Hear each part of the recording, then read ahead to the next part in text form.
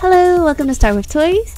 I had a mini vacation over the weekend with my dear friends, so I didn't get a chance to complete a custom doll video.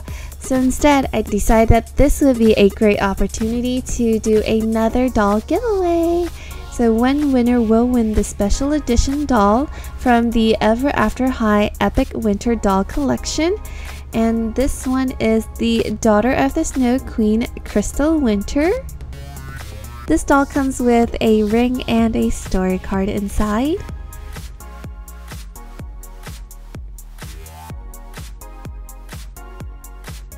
I recently did a custom doll of Crystal Winter using My Little Pony Equestria Girl Mini.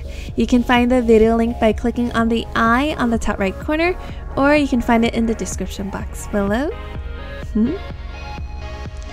And I actually use Fluttershy Mini to transform her into Crystal Winter, so be sure to watch the video link after this video.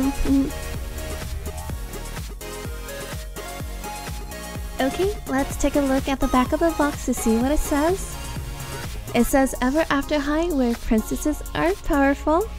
And then there is a paragraph about Crystal's role in Ever After High.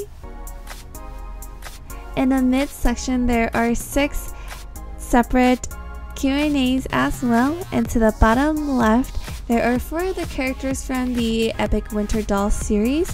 There's Madeline Hatter, Ashlynn Ella, Apple White, and Briar Beauty.